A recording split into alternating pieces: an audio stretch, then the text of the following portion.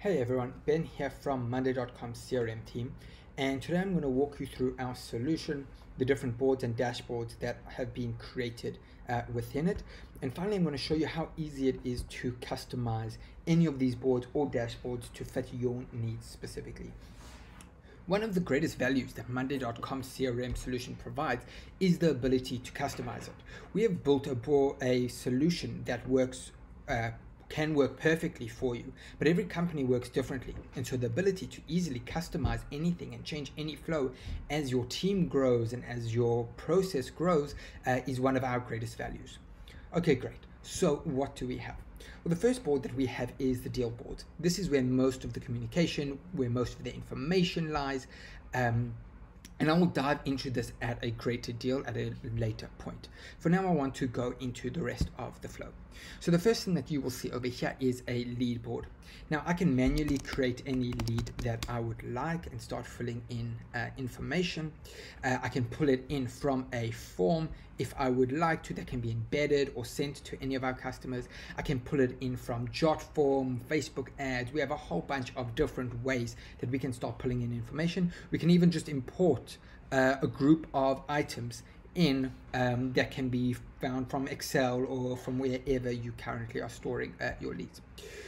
I can then say, okay, this this contact is now being qualified and as you see when I clicked on move to contacts it disappeared. Well it didn't really disappear. We used an automation that says move it to the contacts board. So I'm saying okay once this is qualified let's move it to the contact the qualified board. And as you can see it can be seen right here this brings us to our second board. We have all of our contacts uh, in one place. When we have the accounts associated with it, we have the deals associated with it. Uh, and why this is important is what I can start doing is I can start associating uh, multiple contacts with one specific uh, account. And so if I were to then go into the account and look for HSBF and go into account, you can then start seeing the multiple contacts that are uh, considered part of the account board. And so just to summarize, up until now, we have a mail deal board, a main deal board where we see all of the information. We have the leads, which can then be turned into contacts, which can be associated with an account. From there, we have activities.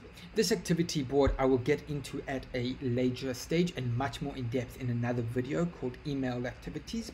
But this is basically where we can start storing all activities, all communication that we have with our customers across multiple boards in one place so we can start gathering uh, data as in who is making the most sales, who's closing the most leads, uh, things like that. Okay, let's carry on. This is a dashboard. Uh, in this dashboard, you can see our training. So how to get started the different videos uh, giving us feedback all of this can be help you get started within monday.com and then finally we have a a dashboard where you can see all of the activity all of um, a high level view of everything that is happening. So this can also be customized as much as you want. You can move things wherever you want to move it. Um, you can make things bigger and smaller. You can change the information within it. Uh, but basically what this allows is you to take a multiple board in one place. You can then start seeing all of the relevant uh, information. Okay, great. Now I want to go in and show you basically how easy it is to start customizing uh, information. So let's go to the deals board to do this. And let's create a new deal and let's call this deal name uh, four. Uh, we can, as you can see, we have tasks uh, that you can create um, and you can have some subtasks and you can move things around easily. Um, we're going to leave that out for now. The first thing we're going to do is create uh, an owner.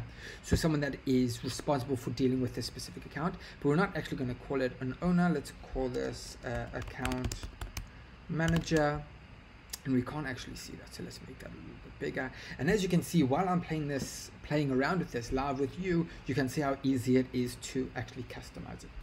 Over here we can see contacts. Contacts I gave you a hint in our accounts and contacts board. But basically what this is doing is pulling in information from another board so we can see it in one place. So I can say okay let's sync uh, actually just one just Jamal Um, and now that it's synced, I can say, okay, let me pull up information. And without needing to leave the board, I can start seeing all of the relevant information uh, in one place. Over here, we have the same thing for accounts. Over here, we have a, a stage. A stage is just a status column that we've repurposed, um, and you can edit anything as easily as you want. So let's say um, we want to create another lead. Let's make it pink, and let's say um, unqualified. And now we can go ahead and we can create a new one just uh, that easily. Over here we have priority, which is the same concept, another status column that we've repurposed. Over here we have deal length.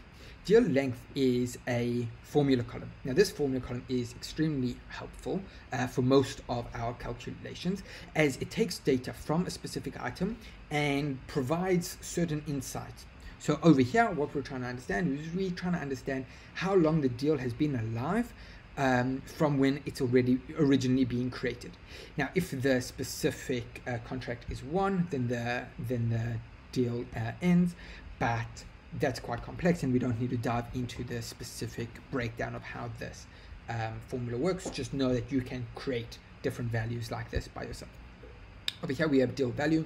This is a simple number column I'm going to start adding in uh, funds. I can change my currency uh, to be whatever I want it to be.